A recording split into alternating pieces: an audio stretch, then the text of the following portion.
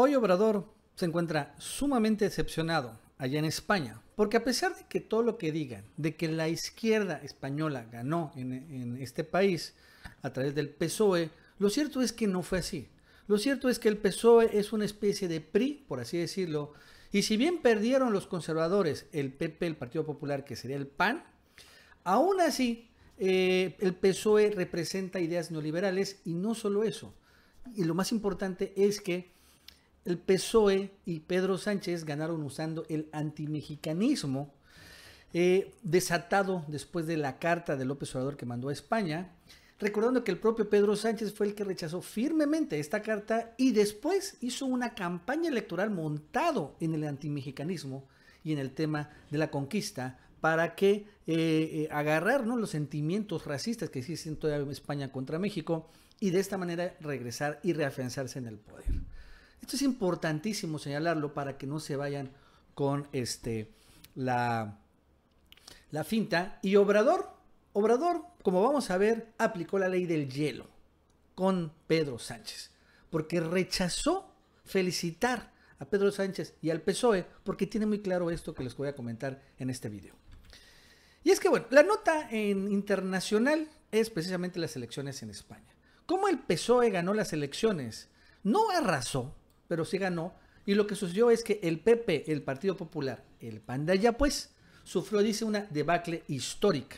Porque hace como cinco años o cuatro años que se fueron las últimas elecciones, el PP había ganado y ahora, pues, perdió. Eso es una realidad. Pero no mucho. Bueno, esta es más o menos la, la gráfica. Les voy a intentar explicar en términos mexicanos lo que significa. El PSOE es realmente, aunque se dice socialista, es como el PRI. El PP, que es el Partido Popular, es como el PAN. Entonces el PRI le ganó al PAN. CS, que se llama Ciudadanos, es como la versión un poco más radical del PAN, ¿no? Ganó 57 votos. O sea, todo lo que le la derecha, entre el PAN moderado y el PAN un poquito más radical, ganó 57. Esta franja morada es Unidos Podemos. Ese es como Morena, ¿no? Y la vez que quedó en cuarto lugar. Y hasta acá abajo, el verde es Vox. Esta es la gran ultraderecha. La de Trump, la de el Yunque, por así decirlo, y ganó 24 escaños. Como vemos, de todos modos, la fracción de derecha sigue siendo muy amplia, desde el PP, que es el más moderado, hasta el más radical, pero todos finalmente viendo lo mismo.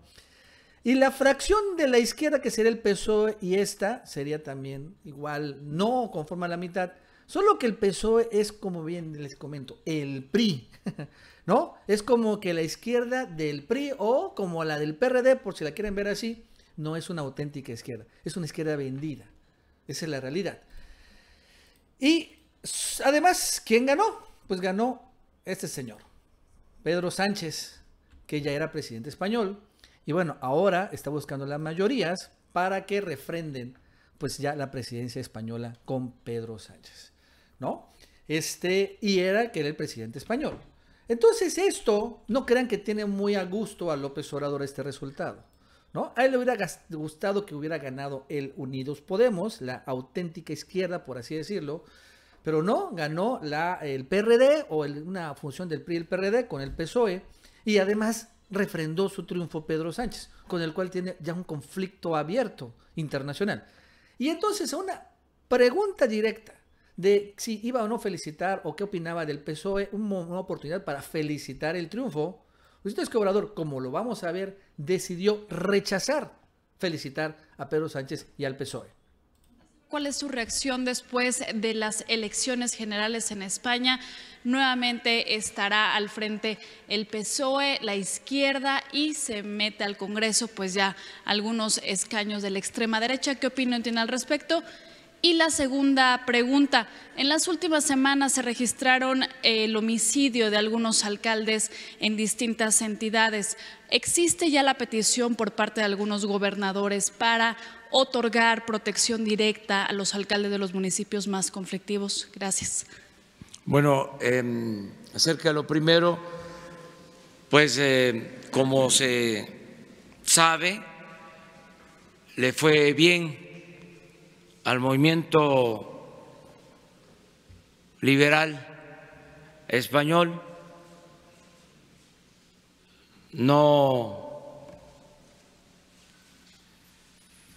sucedió lo mismo con el movimiento conservador,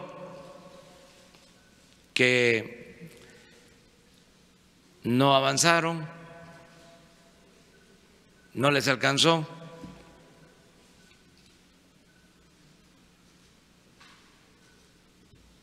De todas maneras, nosotros vamos a buscar tener buenas relaciones con todos los gobiernos del mundo.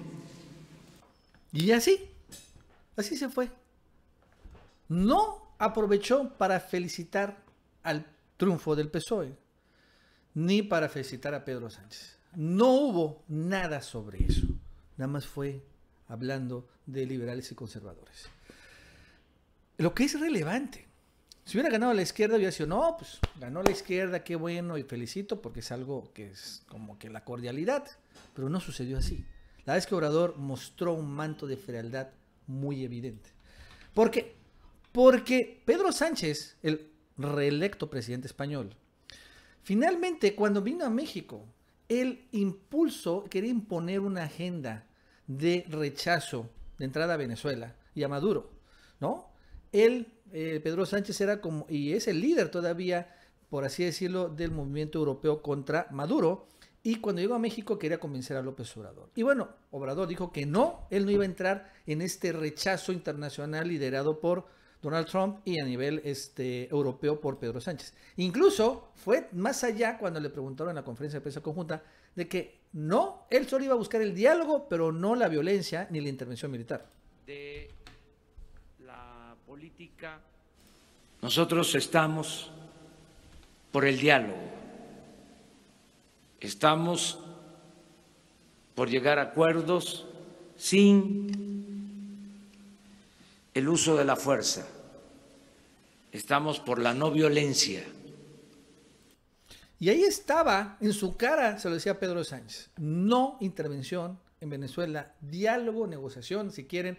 Pero en ese momento Pedro Sánchez había impuesto un ultimátum de una semana a Maduro para que convocara elecciones. Imagínense, un gobierno español poniéndole un ultimátum a un gobierno latinoamericano para que haga, elecciones. O sea, obviamente no pasó nada cuando se cumplió el ultimátum, pero ese fue el momento. ¿Por qué? Porque Pedro Sánchez Así como lo ven, el socialista es, como dice Maduro y tiene toda la razón, un pelele de Donald Trump. Pedro Sánchez incluso se señaló que en diciembre Donald Trump buscó a Pedro Sánchez y les dijo, ¿sabes qué? Voy a hacer esto. Sí que te voy a pedir, o exigir más bien dicho, que cuando sea salga Juan Guaidó, tú vas a reconocer a Juan Guaidó y vas a desconocer a Nicolás Maduro. Y Pedro Sánchez pues bailó al ritmo del imperio yanqui. Pero lo peor no fue esto, lo peor fue la famosa carta que mandó López Obrador a España, al rey español, de que exigía disculpas por el tema de la conquista. ¿No? ¿Se acuerdan? En este video famoso que se registró en las ruinas de Comalcalco, aquí en Tabasco, donde reveló la existencia de una carta, más que la carta en sí misma. Esto ocasionó una airada y furiosa respuesta del gobierno español, que dice así, por si no se acuerdan lo que dice. El gobierno de España lamenta profundamente que se haya hecho pública la carta que el presidente mexicano le mandó a el rey el pasado primero de marzo, cuyo contenido rechazamos con toda firmeza. Este, la llegada hace 500 años de los españoles a las, a las, actuales tierras mexicanas no puede juzgarse a la luz de consideraciones contemporáneas. Nuestros pueblos hermanos han sabido siempre leer nuestro pasado compartido sin ira y con una perspectiva constructiva como pueblos libres, con una herencia común y una proyección extraordinaria. Pero bueno, al final lo importante es esto, cuyo contenido rechazamos con toda firmeza. Y esto generó un gran diferendo. ¿Y qué pasó en España? En este marco, porque esto se registró ya cuando Pedro Sánchez no pudo pasar el presupuesto español y convocó a elecciones generales, empezaron a hacer campaña los del PSOE utilizando el antimexicanismo que desató este rechazo, ¿no? Porque fue muy duro rechazo. Por ejemplo, la vicepresidenta española, obviamente el PSOE, así reaccionó con el tema de la carta, haciendo ya campaña usando el sentimiento antimexicano. Bueno, el gobierno ha reaccionado como corresponde a un país de la importancia y del prestigio del nuestro, con una posición clara del gobierno a través del Ministerio de Asuntos Exteriores, pero el jefe del Estado, el rey Felipe VI, no tiene que pedir perdón a ningún país y no va a ocurrir esto, cosa que ha dejado clara el Gobierno en el comunicado que desde ayer tienen ustedes del Ministerio de Asuntos Exteriores.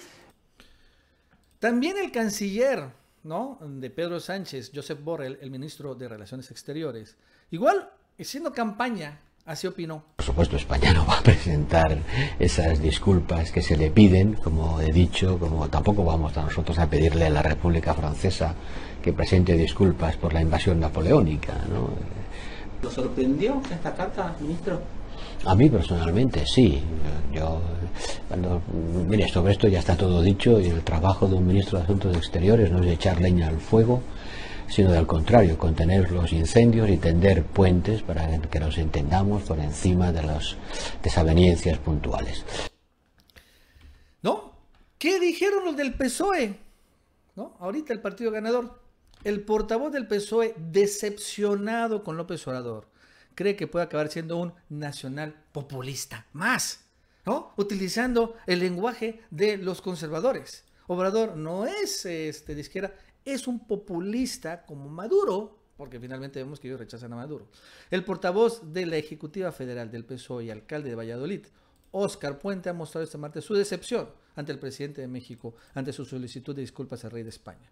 Y uno que creía que Obrador era una esperanza para México y puede acabar resultando un nacional populista más.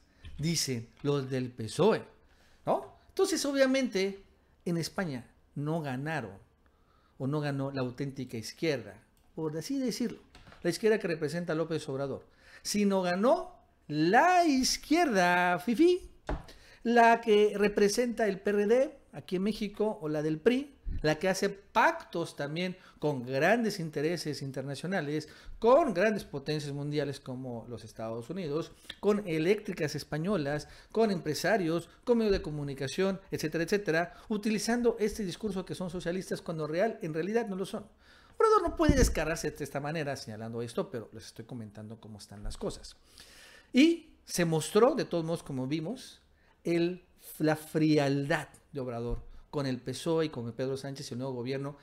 Y vienen días difíciles en la relación bilateral México-España porque se acerca el, los 500 años de la conquista, en dos años, van a ser en el 2021, y ahí Obrador no se va a echar para atrás para, en su exigencia de pedir disculpas y va a haber una confrontación, una ruta de confrontación con este gobierno que ya rechazó y ahora hay que ver cómo, pues van a decir que no. No sé cómo realmente va a acabar este rollo, pero sin duda viene una confrontación todavía más dura con España. En ese sentido, Marcelo Ebrard, curiosamente, después de que escuchó la frialdad en la mañanera, este, casi de inmediato salió a qué? A felicitar. Lo que no hizo Obrador, tuvo que hacerlo Marcelo Ebrard. Y yo entiendo su posición, es su chamba. Como bien dicho el otro, mm, su chamba de Ebrard no es atizar fuego, sino apagarlos. Entonces mandó felicidades al pueblo español por la jornada democrática de ayer y nuestros mejores deseos a Pedro Sánchez, ojo, y al nuevo gobierno que se integrará a partir de ahora. Enhorabuena.